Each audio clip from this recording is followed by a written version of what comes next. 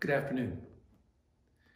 We've been in this quarantine quarantine several weeks now, and there's really no end in sight.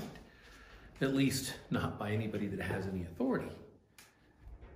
So I'm sure by now we're all pretty tired. We're probably getting on each other's last nerve. We're kind of wondering how in the world we're going to make it to whatever point in time that somebody finally says, okay, we'll be out of quarantine this time. you know, especially I think of all the kids who are home instead of in school. I think of all the parents that are at home with their kids instead of work. And I laugh kind of hard sometimes. You know, Cheryl and I have been homeschooling for just about 27 years now. Um, so really, our lives haven't changed all that much due to the quarantine. I still go to work. Um, it's kind of funny. I'm more socially distanced here at the building than I am at home. You know, our building is probably 15 or 20,000 square feet, and there's only two of us here, myself and the church secretary. And my home is only 2,000 square feet, and there's eight of us there. So I'm more in quarantine here at the building than I am at home. And I'm still making these devotional videos, and I'm recording our Sunday morning sermon. So I would tell you the main thing that really has changed is, is uh, Cheryl and I don't have date night anymore. Um, we don't really go out except I go to the grocery store a few times a week, probably more than a few, considering they're limiting the number of things I can buy, and I have quite a large family to feed. So, saying that, I've seen some of these memes on the internet, these homeschooling memes, and I just have to laugh pretty hard. I'd like to share some of them with you. Uh, this is a picture of a, of a mother holding a handkerchief over her son's mouth, and it says, Day seven of homeschooling biology, testing to see if chloroform has any smell. I thought that was pretty funny. Homeschooling day one, two students suspended for fighting and one teacher fired for drinking on the job. That was pretty good. And this is a new one I just ran across that I thought was really great. It's kind of a, a block out of the day. 9 a.m. home economics, how to make me a cup of coffee. 10 a.m. Uh, mechanical engineering, how to run the vacuum cleaner, basically vacuuming the house. 11 a.m. physical education, which means run outside taking the trash and recyclables with you. Take the trash out. 1 p.m. chemistry, how to bleach the bathroom or clean the bathroom. Uh, 2 p.m. geography, and it's not your normal geography, but it's figuring out where all these toys on the floor go. 3 p.m. science, and it's how this liquid stuff takes grease off your pots and pans, washing dishes. And then, of course, the last one, 5 p.m., which is the after school club, uh, which means go to your room with your iPad and be quiet. I'm sure many of you who are new to homeschooling can relate to these. Cheryl and I laugh kind of hard at them, uh, probably because we've been there before. And uh, it's just interesting to see people start on this particular path, even if it may only be for a few weeks. But to say that, we're all pretty tired of this new lifestyle, aren't we? We're all kind of fed up.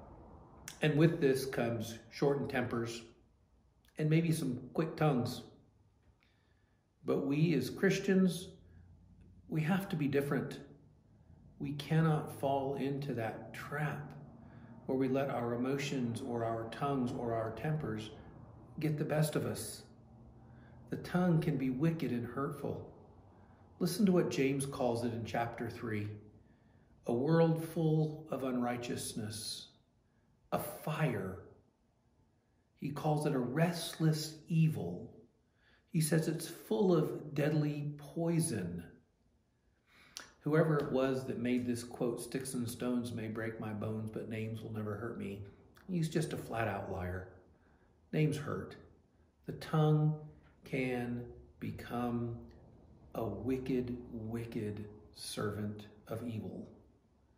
But we have to maintain our Christianity. We cannot fall into that trap where we let our tongue get the best of us. Now, I don't always follow that saying, sticks and stones, but names will never hurt me. Um, oh, I have another saying. Sorry. I have another saying. Put your brain in gear before you put your mouth in motion. Uh, so I don't always follow that, but I try to. You can talk to my wife. She'll tell you I don't always follow it uh, as much as I want to. But listen to, to Paul. Listen to his admonishment to the church at Colossae. I want to read Colossians chapter 3, starting in verse 12.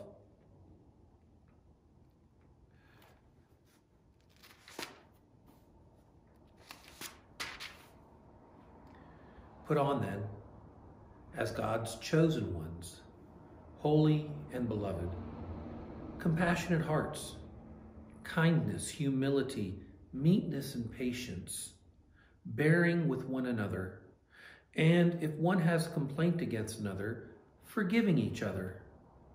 As the Lord has forgiven you, so you also must forgive. And above all these, put on love which binds everything together in perfect harmony.